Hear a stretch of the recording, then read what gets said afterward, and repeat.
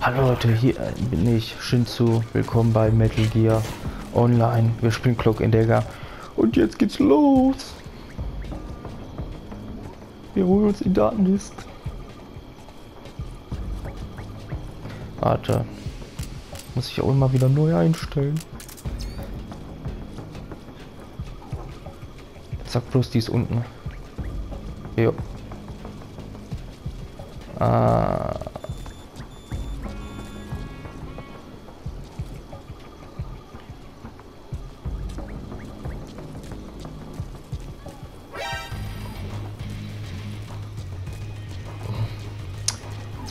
Hier so eine Passage nach unten. Muss die gerade so ein bisschen suchen.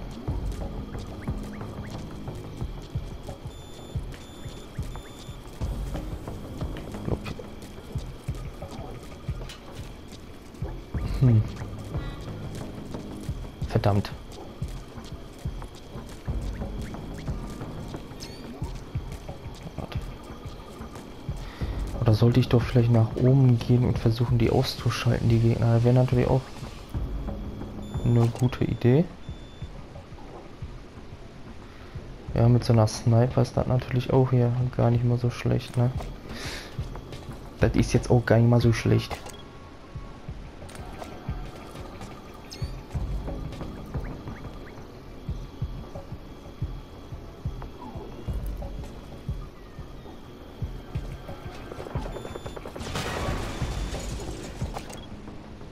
Ah, da war jemand.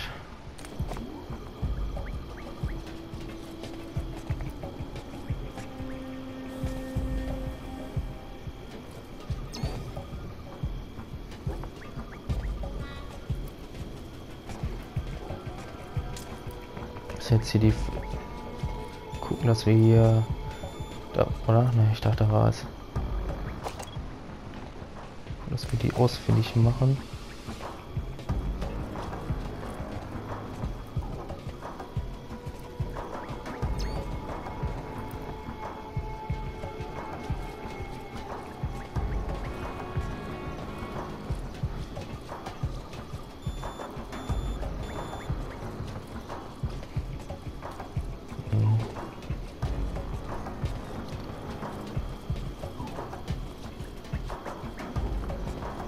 Okay, hier ist auch noch eine.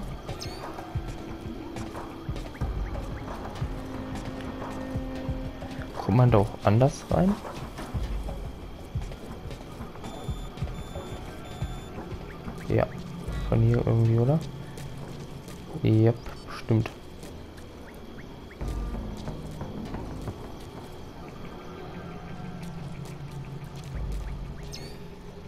Naja, theoretisch könnte man auch hier auf der Lauer legen.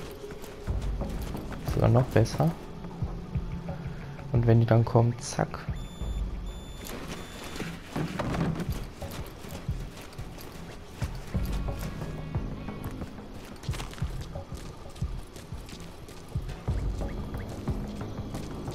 Hier wäre eigentlich auch geil. Weil dann sieht man hier sogar richtig. Äh, wenn man von da kommt, dann hat man den hier. Oder wenn man von da kommt, dann hat man den nur. Man muss aufpassen, dass die einen früher sehen.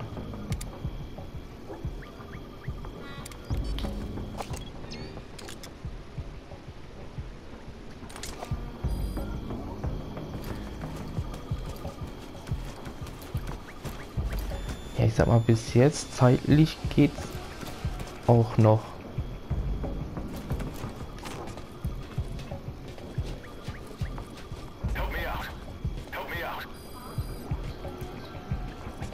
Oh ja.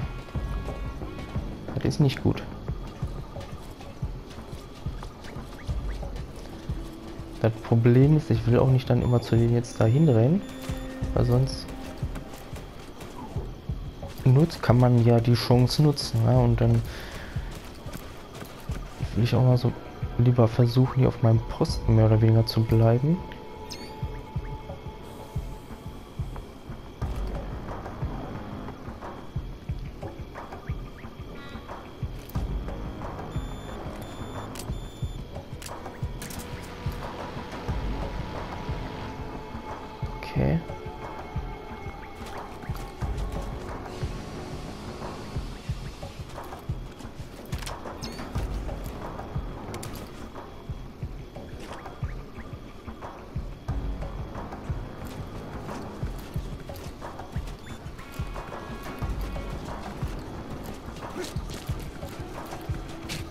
Wow.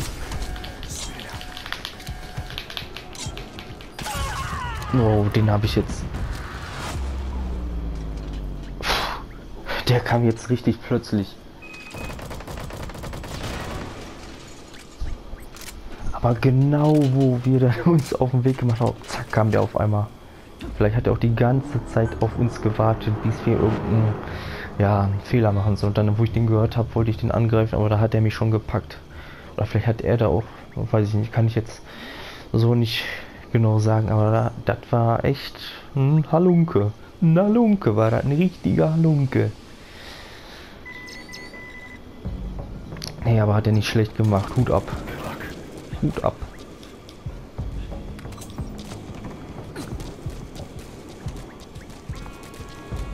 Warte mal, guck mal hier. Wie ich unser Glück kenne. Genau.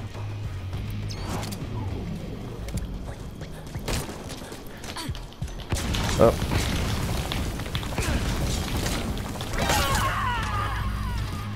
Mmh.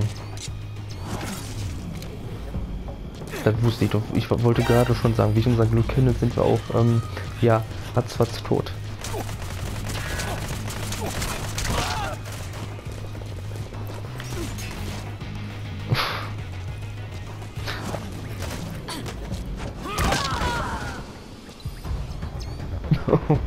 da haben wir so richtig den Hintern versucht bekommen.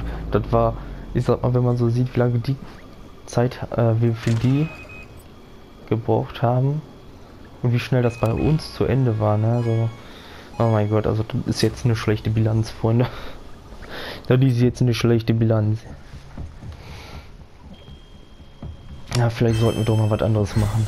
Ich glaub, warte mal, wir hatten ja jetzt in der letzten Folge also nicht in der letzten Folge, aber so davor hatten wir ja jetzt Bounty Hunter, würde ich mal sagen. Vielleicht sollten wir mal hier mit äh, Com Control versuchen. Ich glaube aber, da müssen wir dann einmal den Charakter switchen.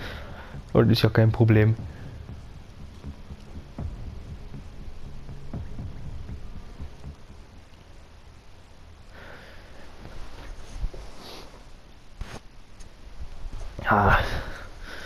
Wobei ich glaube, das lohnt sich jetzt für die restliche Zeit keine neue Runde zu suchen und äh, Com Control dann zu machen. Ich glaube dann je nachdem dann vielleicht kann man dann hier noch mal eine Runde einen Versuch wagen.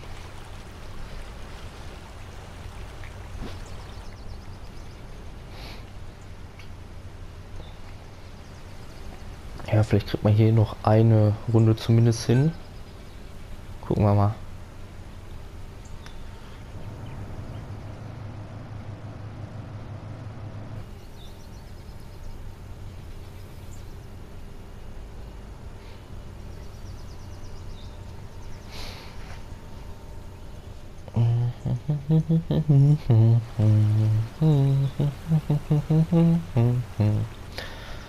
Ui. Ja, mal gucken.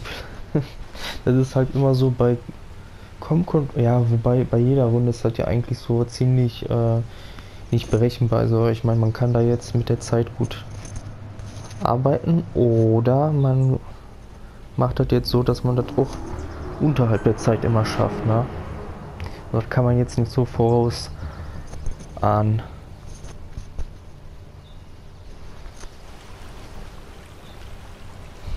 Ja, wir auf jeden Fall wieder an, also gucken wir mal, ob wir jetzt wieder schnell den Hintern versucht bekommen oder nicht.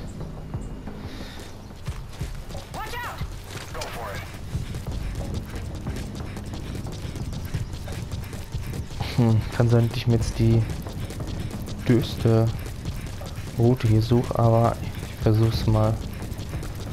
Ich habe keinen Bock, den Gegnern da jetzt so in die Arme zu laufen. Boah, direkt ein Schuss, ey. Ich, nein, ey. Und ich dachte, ach, vielleicht sieht er mich nicht, ey. Boah, ey. Ach, Freunde, da tut mir leid, ey. Ich dachte, ach, vielleicht sieht er mich nicht. Vielleicht kann ich mich dann so, aber... Ja, ich hätte da... Ja, das ist halt immer so, wisst ihr, wenn man erstmal denkt man sich so hinterher so, ja, ist man klüger und so, ja, aber wenn man dann mitten im Game ist, dann will man, ah, jetzt aber versuchen doch, um, das ist eigentlich so ein Geduldsspieler irgendwie auch, aber da bin ich leider nicht so immer der Geduld und bin dann immer so, der versucht dann immer doch, oh, da läuft einer, immer der versucht dann doch irgendwie dann, ja, dazu schaffen.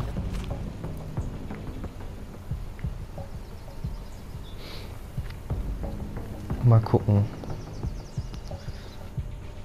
Da sind noch zwei Leute da.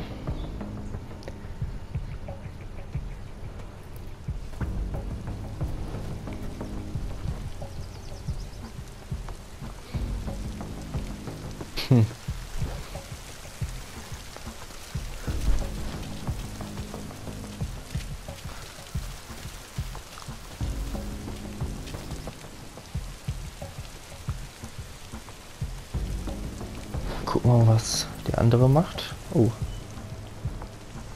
Der ist sogar ziemlich... Oh, der ist sogar ziemlich dicht dran an der Disk. Ach, der andere, ist, der andere Kollege ist auch schon gestorben. Na. Ja, und da sind noch alle erhalten.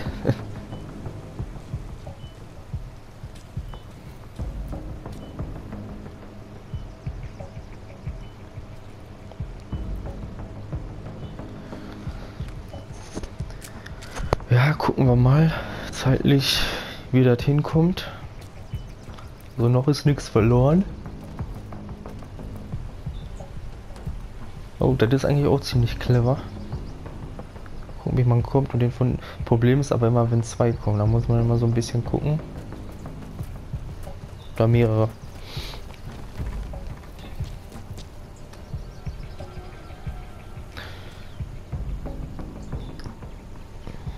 Eigentlich gut wäre das ja auch so, das gegnerische Team auszuschalten, aber leider hat man da nicht die...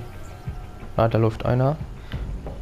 Leider stelle ich mich da, denke ich mal, nicht immer so toll an. Ja, genau, jetzt kommen fünf Leute oder so und dann...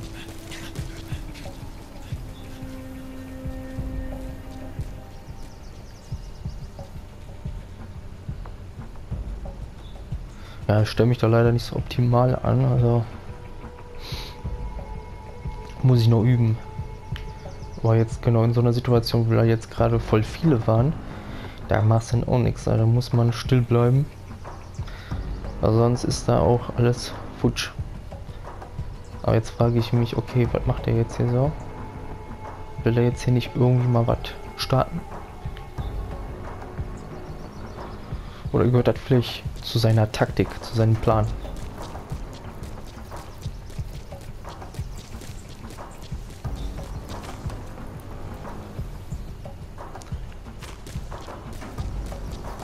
Ja, ich wäre wahrscheinlich wie so ein Bekloppter jetzt auf die Dis zugerannt.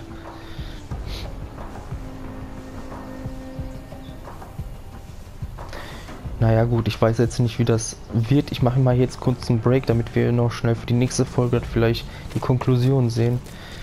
Macht's gut, Freunde. Bis, in, bis zur nächsten Folge.